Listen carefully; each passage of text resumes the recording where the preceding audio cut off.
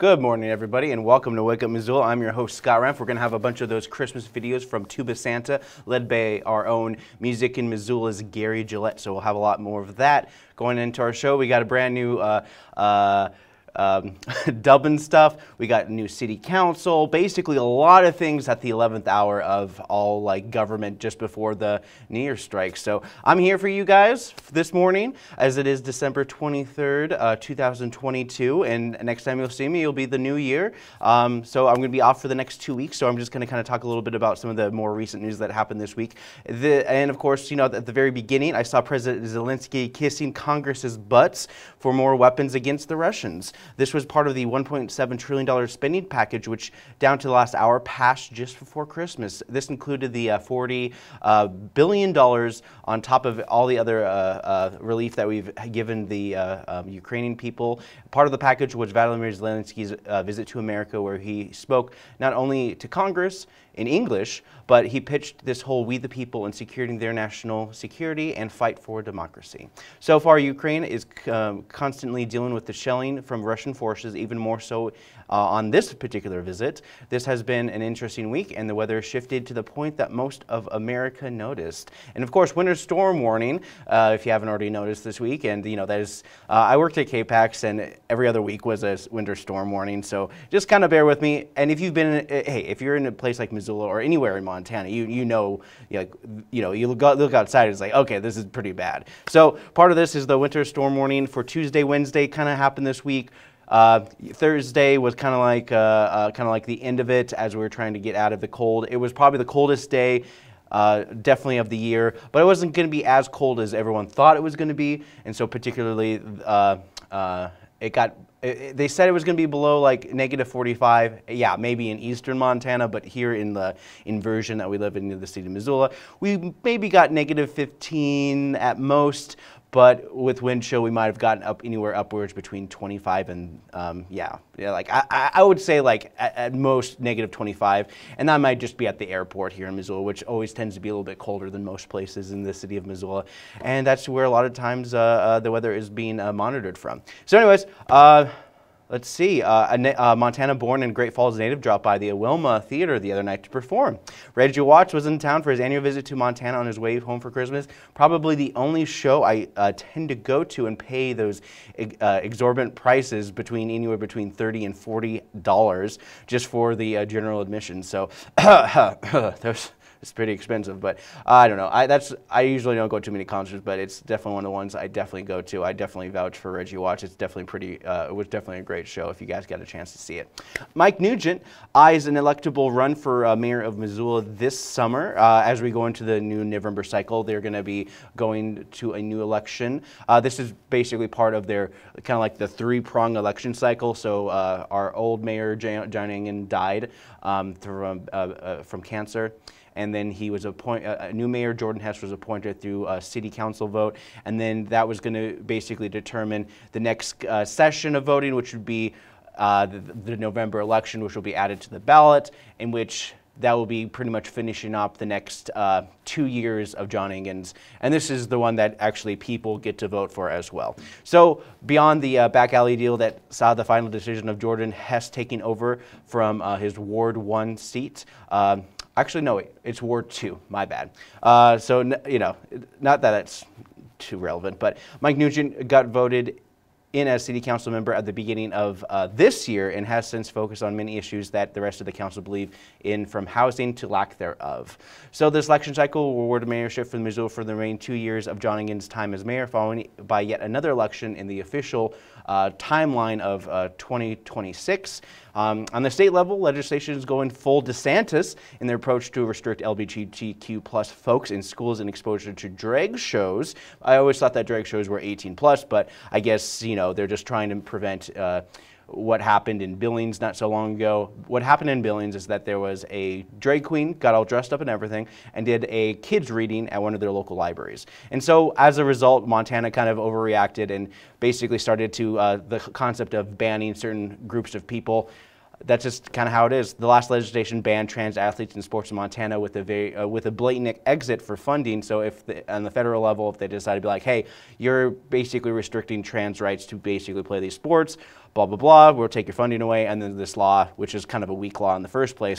Uh, would basically cut it under the rug. But I'm not going to get too much into it, but I want you guys to remember that this is actually something that uh, kind of really just kind of turned me around um, in terms of like, the spectrum of sexuality and everything like that. And Neil deGrasse Tyson explained it very well on a uh, popular podcast that uh, just uh, came out a couple weeks ago. And this is his quote We're just being lazy by assigning seven colors. Our brain doesn't want to see nuance because it's easier for us to think in binary. So it's, are you with me or are you against me? Well, maybe you're somewhere in between. Uh, are you a boy or are you a girl? Maybe there's expressing themselves uh, somewhere in between, and your brain is difficult time recognizing a spectrum, and so you're requiring it to be put into a bin. So there you're focusing other other people to match how you see the world, and that is wrong. This was an interview uh, with comedian Theo Von on his podcast this past weekend, and it's very interesting. I really like that. So the Montana legislature will look into this along with the many other bills starting January 3rd with a very inflated budget of $1.5 billion in surplus for the state of Montana. So there's a lot of uh, things that possibly could be happening to uh, enrich uh, the people of Montana for these next legislation session, which happens biannually, which means it happens every two years. Um, Talking about bigger news that's happening around, you know, the saga of Twitter is kind of coming to a close in terms of Elon Musk uh, floated the idea of being like, hey, I'm going to let the people decide if I should remain in power. And uh, almost you know almost like 57 60% of the votes out of 13 million users basically voted down for Elon Musk to leave. Recently Elon Musk has been a uh, teeter-totter banning and unbanning folks for some things and when he started to ban journalists things got a little iffy for the freedom of speech and freedom of the press. Um, I don't want to say that Elon Musk's tenure at Twitter was a disaster but it was pretty much that.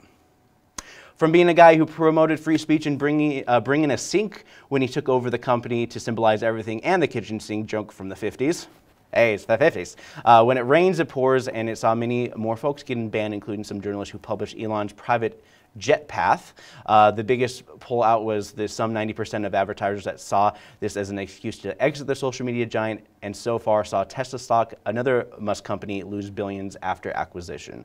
Uh, you know, there's just a lot of uh, surplus to let Elon Musk kind of be like, hey, you know, you know, by thinking about leaving, uh, Tesla stock actually went up. So it kind of seems like it's going to be uh, beneficial for his uh, other companies that he can control as well. So uh, at some point, hopefully, monopolies will be broken up someday. But there is also, uh, let's see. Hmm, And Musk said he never wanted to be a CEO of any company, preferring to see himself as an engineer. And this move by the Twitterverse may see the mogul step down while remaining a majority owner of Twitter. So I'm not so sure about exactly what's happened recently, but he said that he might, he will honor the uh, stepping down the, uh, of the uh, CEO, but uh, as so far it's kind of like up in the air. So one of the big things that happened just this year as well is the FIFA World Cup just wrapped up. Argentina won against France in soccer. Uh, they did get a tie in their official bout, but the Argentina had enough wins to result in their major thing. So soccer is kind of weird like that since most sports have winners and losers, but soccer also have ties on top of which there affects their overall standing in the end. So it's usually cumulative wins standings and everything like that to determine you know, who wins. And so congrats, and we'll have the next men's soccer in three years, which is going to be hosted by North America and not just uh, uh, the USA, but also Canada and Mexico. So it's going to be a kind of like a tri-country uh, NAFTA kind of FIFA World uh, Cup as well, which will have a, a, a, at least 32 teams. But um, regardless of the clear corruption, which basically the officials announced that, yeah, we took the money, we took the bribes from Qatar, and we got it here. Um, was a way of uh, it was kind of like their laissez-faire attitude. And the next cup will be very interesting, and perhaps the U.S. will have a hometown advantage. Uh, women's uh, soccer will probably be great. Men's has always been kind of iffy, you know, as most people have joked over the years. But who knows? We might get the uh, good galvanization of uh, men's soccer over the next three years. So we'll look forward to that for the next FIFA World Cup. Uh, speaking of uh, the pandemic, uh, I just wanted you guys to know also as well is that uh, free tests are available from uh, covid.gov. You can get upwards of four tests for free and get it mailed to you. If you need it or simply want to stockpile it, then great. So uh, the COVID tests are free. Uh, they originally uh, had them be like, okay, we're not going to do any more free COVID tests, and then they saw greater numbers of COVID, um, people getting infection, a lot of people getting sick. Heck, I even did a shoot not so long ago from Sentinel High School that basically highlighted that, oh, a lot of their choir members were out sick. So you guys uh, will be able to see a lot of MCPS uh, concerts on MCAT sometime soon. Um, so yeah. Let's talk about other things. Um, everyone's talking about the January 6th panel, which finally wrapped. Um, I, I, looked up the numbers, and they spent upwards of uh, $3 million dollars of taxpayers' money on the investigation overall. And, and they basically determined that uh, Trump lit the fire that started the pandemic. I mean, start, not start, sorry, let me rephrase that. But former President Donald Trump uh, basically lit the fire of the January 6th insurrection. So that's basically what they uh, put down on there. But like many of the panels that Congress put down, it's mostly just like, here it is. Um, and yeah, we'll, they'll see how it turns out, which, you know, like everything else, it, nothing has ever come to fruition in the end. So anyways, um, I guess the one thing right now is that, you know, like money went to this particular thing, but also money can be used as a tool for uh, nuclear fusion. So uh, nuclear fusion was a big thing. This just this past year was basically the holy grail of energy. And so part of this is basically using a giant heated laser hotter than the sun to combine molecules. And basically that reaction creates energy. And it basically almost uh, doubled the energy that oh, actually basically 50% more energy was created than was uh, being used to pursue. So fission is what's otherwise known as splitting the atom, which you already know goes in terms of creating nuclear bombs. Uh, nuclear fission, fusion produces far more energy and only small amounts of short-lived radioactive waste. Importantly, the process produces no greenhouse gas emission, therefore does not contribute to climate change. And so that's one of the big things. It's the, they call it the holy grail of energy, and there's a lot going on for that. Um, and so they were able to crack the code, and once you crack the code, any, like everything beyond there is just beyond. But also, wait, Hold on a second. This just in Grandma got run over by a reindeer. And we have somebody with the story. Here is Gary Gillette.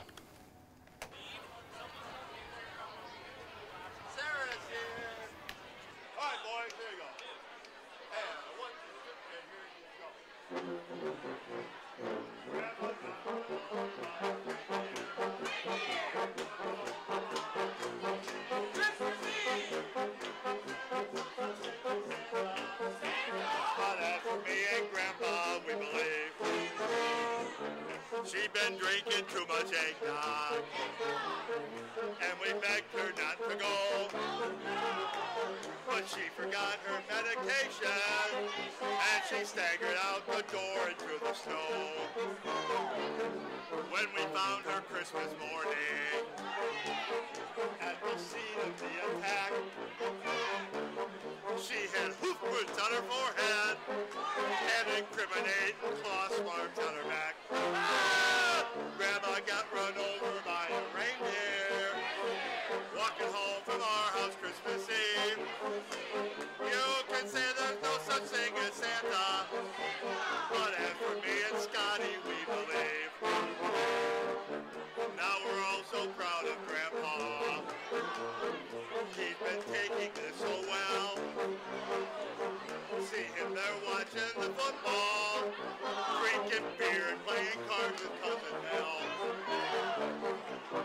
Christmas without Grandma.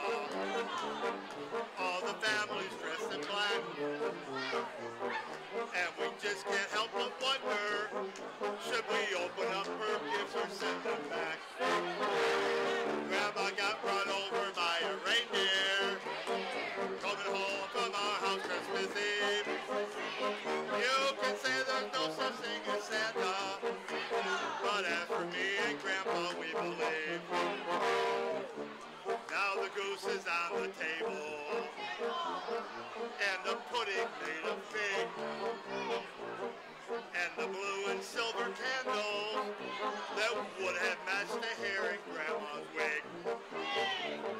I've warned all my friends and neighbors, better watch out for yourself.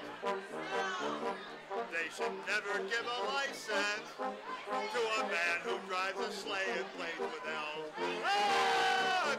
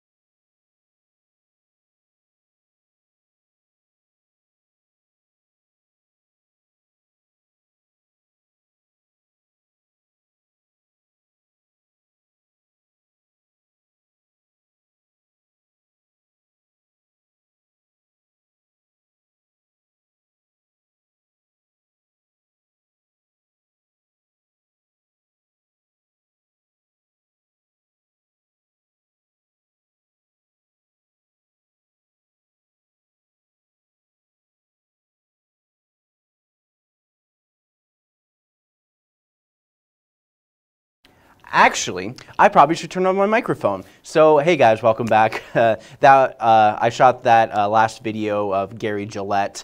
Um, at the Draught Works Brewery. Um, that happened last Saturday. So let's get things off. Is that you know Puss in Boots is uh, doing the Last Wish, and my last wish would not would be not to see this film from the DreamWorks company that which would have failed if Shrek didn't become as popular as it was as before.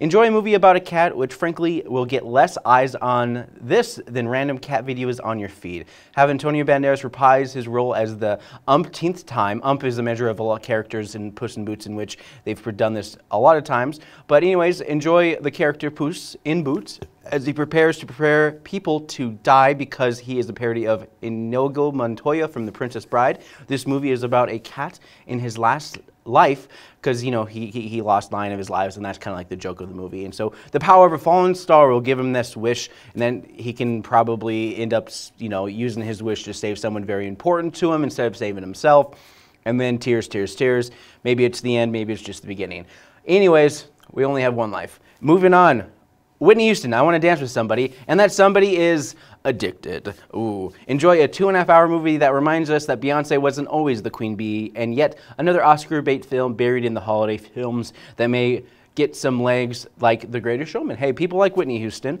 Um, and you know the you know the greatest showman since movie type music type films always have their audience and whitney houston doesn't get credit that she deserves for sure but i guess uh, deserve a film about her life in two and a half hours we just did elvis and we can expect her to uh, she got to think about her whole life before she goes up on stage, basically, kind of movie. And yeah, you get to enjoy a bunch of things like that, and probably have to deal with uh, Bobby Brown and all that stuff. So you get to hear all uh, the glitz and glamour and all the warts and all. Finally, we speaking of uh, warts and all, uh, Babylon enjoy an early look into early Hollywood full of wannabes and never was, um, as they uh, have the good old times in Hollywood land, world of depravity and unchecked celebrities that even in today's standards are done with a little bit more restraint. We adults gotta go crazy before we can go sane, and Hollywood is the perfect place to be something instead of somebody. Um, any, anyways, Margot Robbie's in this movie. and She's like, hey, who's a pretty young blonde girl? Well, pff, Margot Robbie. Uh, is there anyone new? I was like, no. Uh, oh, what about uh, Jessica Lawrence? You mean Jennifer Lawrence? I was like, yeah, who cares? Anyways, that's always the Hollywood machine is like, oh, there's always the youngest, prettiest girl. And then she's like, I guess she can act. Who cares? Let's just look at her. But anyways, this movie kind of like goes to the uh, glitz and glamour. I just heard about like apparently there's like a, a a thing where they have like an elephant poop on a guy's face and they like literally shot a POV of it. Uh, I don't know. I I did not see it. I'm not going to see it. But uh, all I know is that it like it's by the same guy who made the uh, La La Land. So um, I'm I'm sure cinematography is really good. But the everything else, who knows? All right, so the next couple weeks, we're going to have a couple films just kind of drop and uh, disappear without uh, trace. Um, we go to prison in this next movie called The Flood, but it's with alligators. Enjoy a series of horror tropes from people being pulled under the water, uh, and the jailbirds aren't as bad as the baddest bad guy, but there's a very bad guy with a heart of gold. Uh, it's like Con Air, but, but wetter, and maybe Florida. Uh, the guy from uh, Starship Troopers is in this film and doing his thing. I mean, I could say his name, but uh, you know, people would only know him from, oh, the guy from Starship Troopers is in this. Okay, cool, whatever. Casper Dan Vian thing. All right, next up, we got a Bloomhouse uh, film uh, Blumhouse, Bloomhouse, uh, and it's called Megan. And it's you know like when they do original horror films, it's good. I, I actually got to give them props. Even when they did the, the uh, remake of the Invisible, Invisible Man, they did a good good job. But enjoy yet another kind of futuristic. Uh, you know, child play doll, you know, who becomes sentient and tries to kill it. But in this case, it's more just about how they're too good at their job protecting the little girl that they're bonded to. Um, so far, enjoy a creepy, realistic looking doll, the size of an average 8 to 12 year old girl in a rampage destroying everything in her path. I'm going to see it because it looks like it could be a Black Mirror episode, or I'm not going to see it because it's a Black Mirror episode. That's kind of how Black Mirror is. It's like, ah, let's go, let's watch the Black Mirror episode. It's like, okay, which one? Oh, the one about like social media? Nah, I'm good. But anyway, finally, we got women talking. The Mennonites, uh, you know, they live in their own uh, society and kind of like a Jane Austen kind of world. And this movie kind of talks about a. Um, uh, the whole idea of a Victorian age of reproach and dignity, uh, except the cult leader because, you know, he can get it. Uh, anyways, watch a bunch of Amish looking uh, women trying to escape their hyper religious cult through the power of their words. And I believe this is had to do with some real life 20 10 Mennonite colony where men can do whatever they want and blame Satan or, or women madness on their actions without punishment. Uh, there is a reason why confessionals are con confidential so they can get forgiven and just go back to sinning. Anyways, uh, religious er, is wonderful. Religion is wonderful, ain't it? All right. Moving on. Up next, we have a brand new dub and stuff from the 1934 version of Babes in Toyland. So when I come back, we're going to talk about some city council, and there's a lot to talk about. And a march, march here, and a march, march there. Here are the stockades. Hey, listen up, everyone. This lady here is going to jail, but first she's going to the stockades. Can you believe that? Listen, there's no need to cry, young miss, for this happens all the time. Oh, she's crying now. different Let's get out of here, gets thrown in guys. Jail. Ugh, Ugh, And it's not really. embarrassing. Come on, move along, Oh, move you along. better Let's go. dry those eyes, young miss. For the people aren't necessarily leaving because they feel sorry for you. They're leaving because they feel uncomfortable from your crying. So please dry those tears. Oh, don't worry. They're just crocodile tears. Ha ha! Marvelous, marvelous, darling. Now we can have some real alone time. Well, you know, in the public eye, but you know, it's like, you know, it's just, you know, just how it is. Okay, so here, let me help you with that. Ah, these tears are pretty convincing. yes, they are. But I'll still never make them on Broadway after all. I'm just a, a Oh, nonsense, darling. You probably were a never was. But perhaps if we work together, we can fool these people into thinking that you're some kind of big Mm. person coming into town. Oh, really? You think you can do that? Well, you can call me a vaudevillian actor who never loses his trunk because I sure got your back Mm, that's really convincing. So, first and foremost, what are some of your talents? Can you sing? Can you dance? Um, is wanting to be famous enough? Well, not quite. You have to have quite a gimmick, kind of like Gallagher and his uh, watermelons. You can probably be something like mangoes or bananas, or perhaps something that's a little more safe, like pretending to be somebody. All right, all right. I have to do my job too, you know. You gotta be in the stockades. But heck, I'll keep you company. Now, I don't want you leaving this spot until you think of a good act. Hmm. Robin Hood looking. Hmm.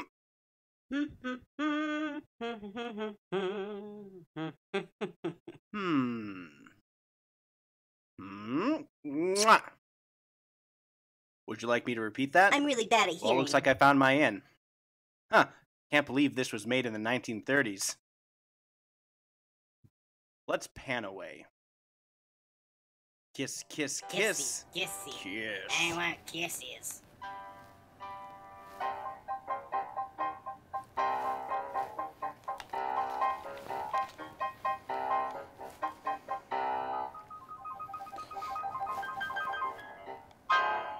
Well, that was my last dubbing stuff for the uh, the year, and you guys will be able to see my compilation come out next Friday in the vein of my YouTube channel, so you guys can check out the full uh, series of dubbing stuff. I made over 40 dubbing stuff this just this last year, um, well over two hours and 11 minutes of me dubbing over old movies clips. So yeah, enjoy that. Ooh, okay, let's move on to some city council. So we have a lot to talk about in terms of city council. You know, um, there's a lot of things happening as well. This was a two-hour meeting as they dive into various topics from municipal codes to your streets and an annexation and rezoning. Good. Good times had by all in this planning phase of the city uh, the, uh, during the halt of winter. Um, this was a uh, fun clip of a de- there was a fun clip of a developer getting hot and bothered by the fact that he wasn't uh, told that there was an ugly sweater contest for the last meeting, and that was pretty funny. But I'm not going to show that. Proclamation by uh, Mayor Jordan Hess talks about uh, folks lost to uh, being homeless. And uh, this was a part of what MCAT was going to do, but it, the cold weather really made it hard for us to kind of find a venue for us to be able to record uh, the, uh, the Homeless Day Memorial, which happens at the end of the year every year. So here's Jordan Hess talking about the memorial.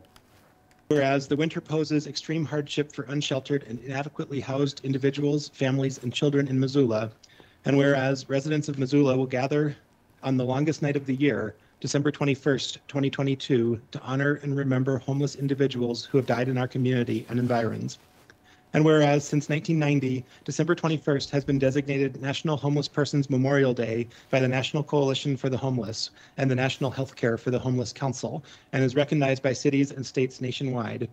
And whereas in remembering those who have died without a house of their own, we keep urgently we keep urgent the cause of ending homelessness, the need for compassionate response, and the city and county's collective commitment to prevent such deaths in the future.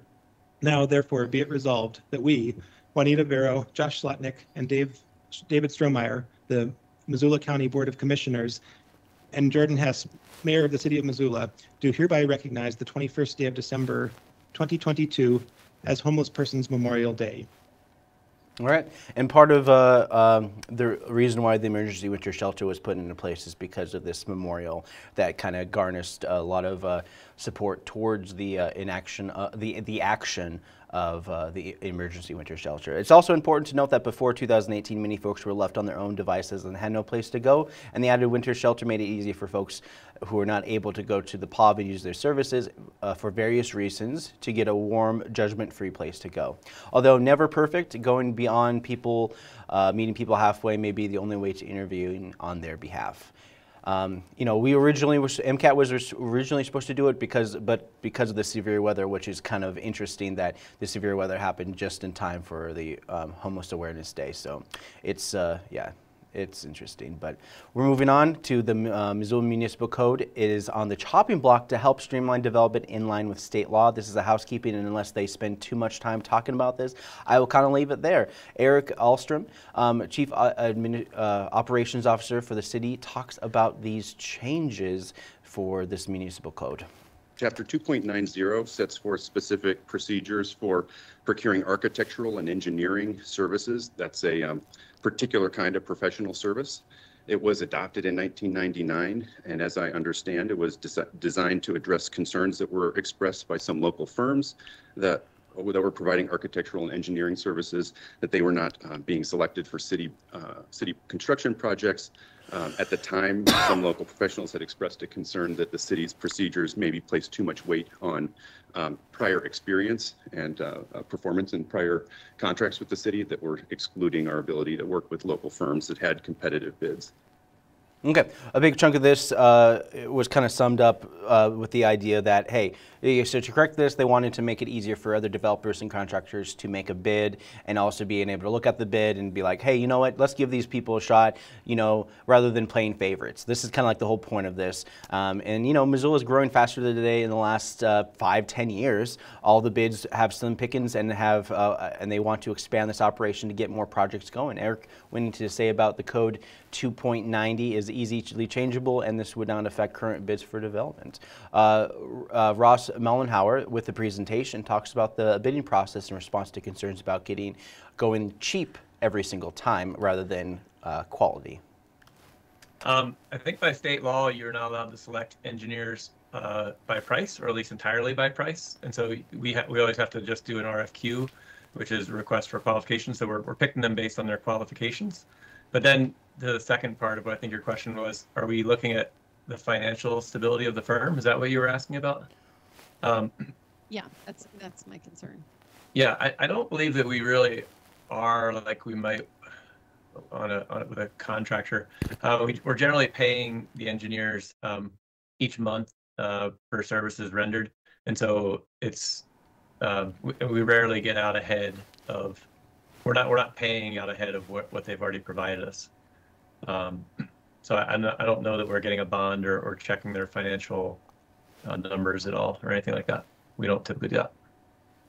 Yeah, I mean that's the whole idea is that, that you know they, they pay for services and like hey they put a bid in and they're just that kind of thing. It's you know there's you know more for qualifications and of course anything over eighty thousand dollars requires some form of qualifications. The process is to create a wayfinding tool to help fit the contractor slash architects engineers with the right projects. I mean I'd take a sidebar. Uh, uh, prefer if we stop hiring the architect who thinks the puke green um, is a good color for these modern buildings. You know, all you know, joking aside. But anyways, uh, they they decided to repeal Code 290 as it stands, and you know, it's just one of those kind of like uh, housekeeping kind of things that they're working on as well. So, streets, sidewalks, and public places is a result of paying for these resources, making it easier for council to interpret how much they kick in versus the development impact. Much like the back and forth the city went through the developer the previous Monday, in which they spent six hours determining whether or not they should talk about um, spending upwards, uh, you know, if the developer should spend 100% for the roundabout or not. So I don't want to get into it because we've already gotten into it. This is about, Title 12, and Troy Monroe, Troy Monroe, city engineer, gives us a glimpse of basically what's under our streets. And just so everyone's aware, the city owns three utilities, a water utility, a sewer utility, and a stormwater utility.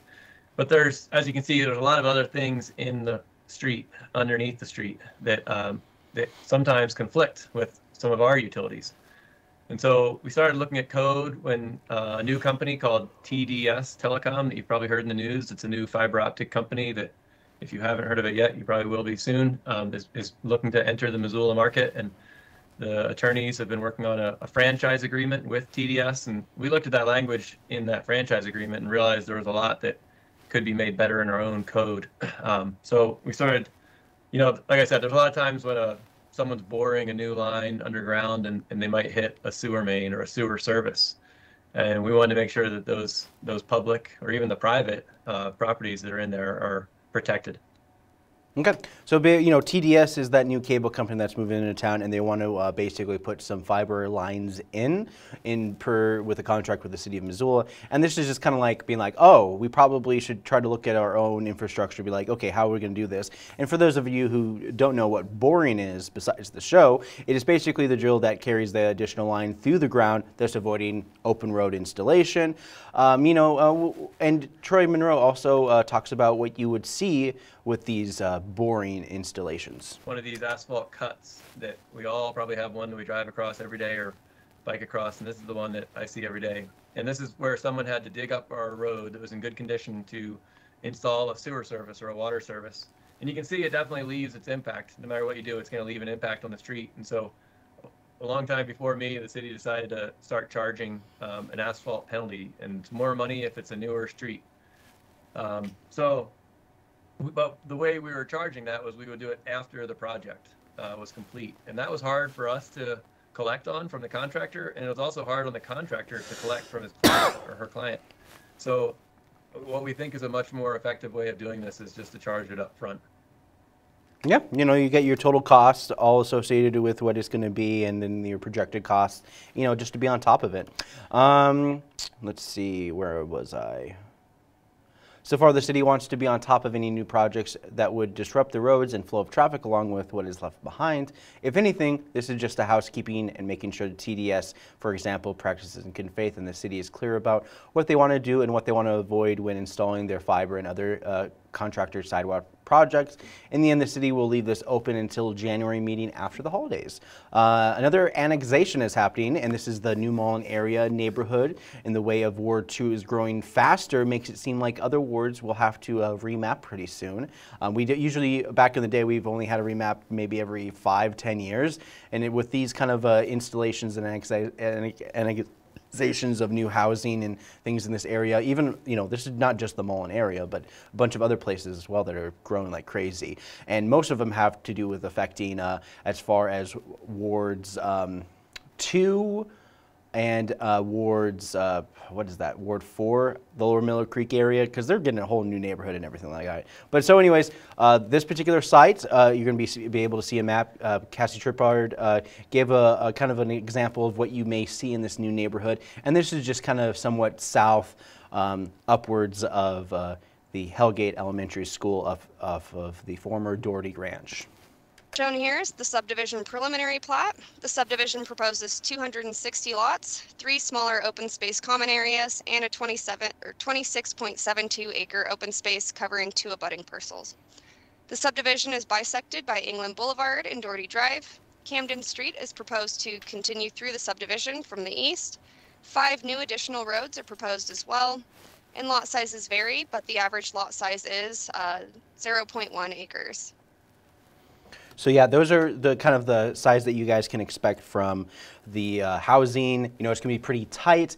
Kind of like imagine those kind of areas of mixed use of the, um, you know, uh, expressway mixed in with some of the stuff that they already have near England Boulevard as you get closer to town. They have like closer buildings. Sure, they're going to have attached townhouses, but they're going to try to have a mixed use to have a more of a kind of a nice aesthetic kind of look. But one of the big things is they wanted to do is uh, on top of that, the Missoula area and the, uh, um, let's see, where was I? Um, I'm kind of all over the place today.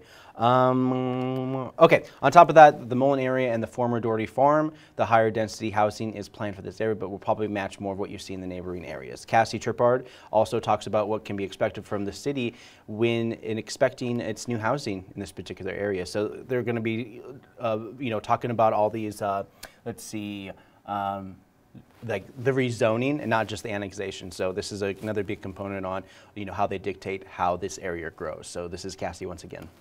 T3 is a residential zoning district that allows mansion apartments, duplexes, townhouses, various types of detached houses, religious assemblies, group living, and daycares.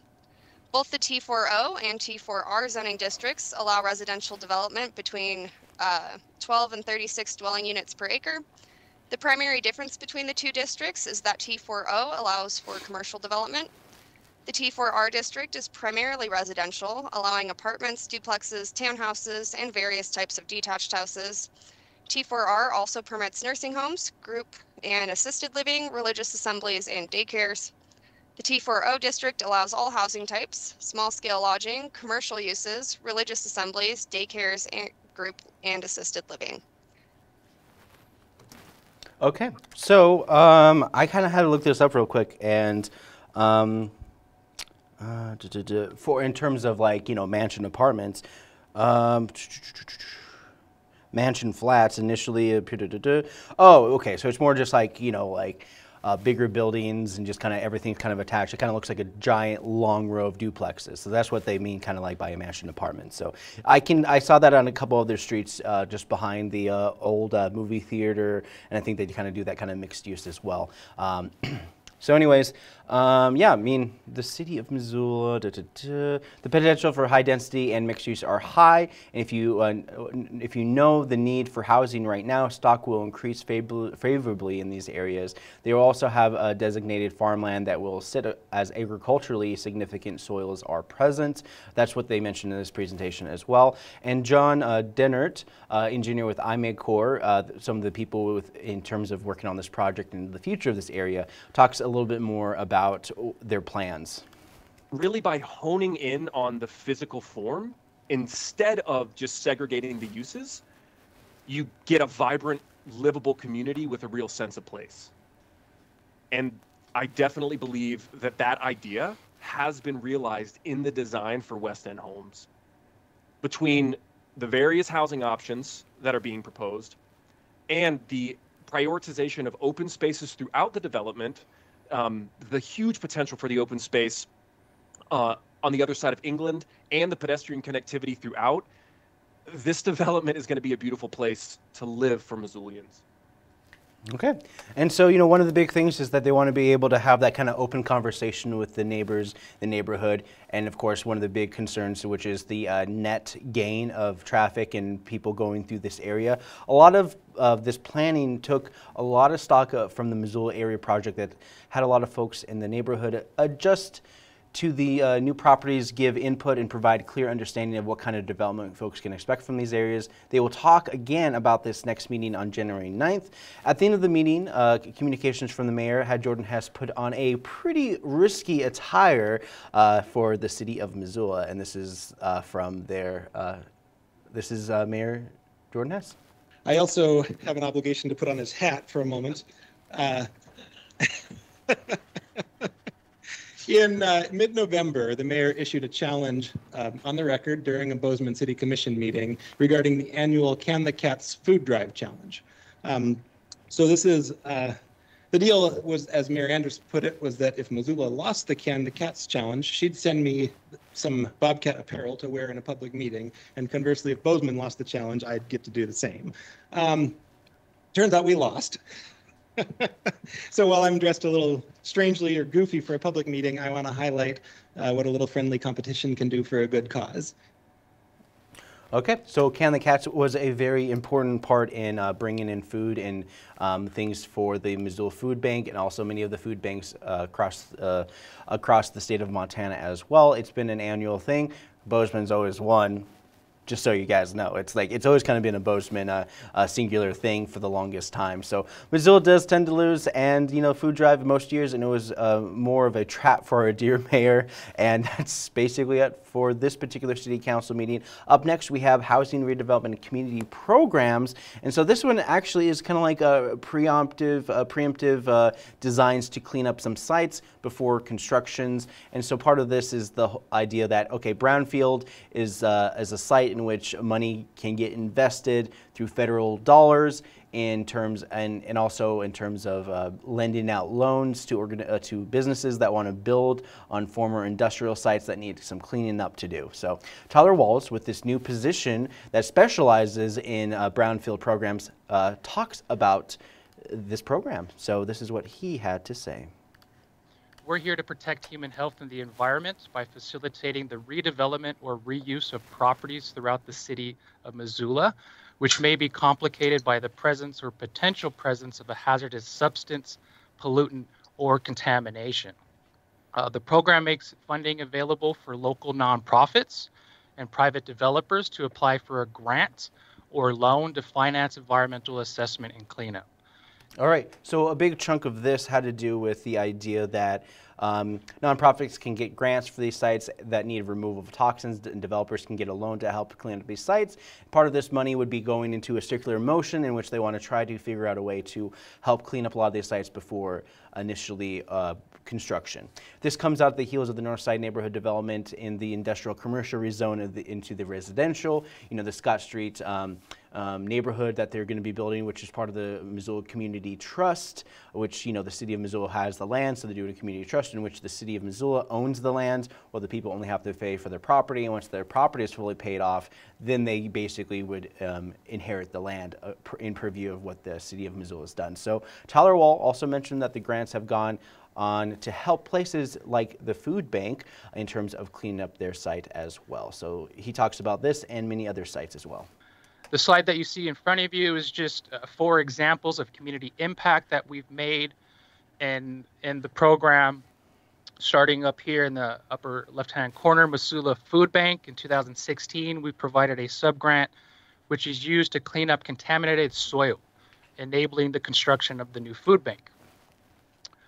Uh, the Poverello Center in 2013 was the, uh, benefited from a subgrant which was used to clean up hazardous building materials prior to that building being constructed. Um, so very success there. Uh, and then 2017, we issued a small subgrant to Garden City Harvest, our local food um, experts uh, and, and uh, gardeners uh, at, at the River Road Neighborhood Farm. Uh, which was used to clean up hazardous building materials of an old uh, an old building there prior um, for them to be able to redevelop that site. Okay, so the whole purpose of this is redevelopment, and you know redevelopment is a big thing in the city of Missoula as well as we're trying to uh, kind of uh, um, grow from the old uh, and build to the new kind of deal. So the Brownfield program will be on the will be the go-to for folks from various uh, for, for-profits and nonprofit degree, but ultimately facilitate cleanup on the sites, and we'll have a 1.8 million dollar budget to be revolved by 2028 as a means to loan and award grants based on current projections. So this was informational only, and you can watch the entire presentation online as well. But we're going to talk about some parks and through the climate uh, conservation and parks are raising rates yet again. So every year the master fee gets raised, and which means your the use of parks, the use of Splash Montana currents, and everything. Those rates are going to go up as well. One of the big changes is that they're going to start paying uh, members and staff members, lifeguards. Basically, they're going to be jumping up from a, about 13 25 an hour to about $18 an hour for these seasonal positions to help uh, facilitate your kids' safety and your safety during the Splash Montana uh, um, currents, you know, swimming pool kind of things during the summer. And you know, I knew, you know, and you know, I knew somebody who was a lifeguard, and many were not really interested in doing this job because of the terrible people. and this might appeal to uh, young CPR certified individuals meant to save drowning folks' lives. You know, swim teams at Splash Montana will could spend anywhere between 106 an hour, about a $10 increase from last year. Um, they also permitting requirements for operating and running uh, drones in parks. So one of the, the big things is that you know, hey, everybody's getting a drone. DJI is a big company. That's just one of the many companies that has drones, and they want to be able to be like, hey, you know what? If you're going to have this kind of uh, a technology, we want to start regulating it a little bit more. So they're going to put some uh, requirements and have some permits in regards. You can't just buy a drone and just fly it whenever. You got to now they're going to be a little bit more harsh on people to be like, hey, you need a permit, or at least you need permission from the uh, uh, uh, folks as well. So, anyways, they also go into detail about the holiday and seasonal passes and so forth. You know, it's going to be interesting, especially if the Missoula moves forward in buying uh, Marshall Mountain, which is going to be a ski resort. So, think about the seasonal workers with the lifeguards there. Then you got to think about all the workers and people who are going to be helping people with the uh, snow slopes of Marshall Mountain. Uh, yeah, so it's going to be interesting how uh, the parks are going to be um, kind of spreading their resources throughout this next couple of years, and just raising some of those rates are going to help grease the wheel to help um, encourage more uh, staff and workers to actually work within the parks and rec department as well. So, anyways, this is what they discussed in detail for parks, and I'm not going to bring up clips, and I'm just going to jump into a chipmunk Christmas song for Tuba Santas. And I think this is pretty much it. There's really not much to say in terms of events. And I, I just wanted to wish you guys uh, happy holidays and just enjoy Christmas, Hanukkah, whatever Ramadan, whatever uh, religion you wish to uh, pursue and wish to be a part of. You know, you know, it, it, this is a kind of a time of belonging and being uh, cooped up in a cold place and be like, hey, you really can't go out. So let's just, you know, make up a tradition that kind of uh, gets people together and stay warm during the holidays as well. So here is, uh, and for Wake Up Missoula, I'm Scott Ranf. Have a happy holidays and take care.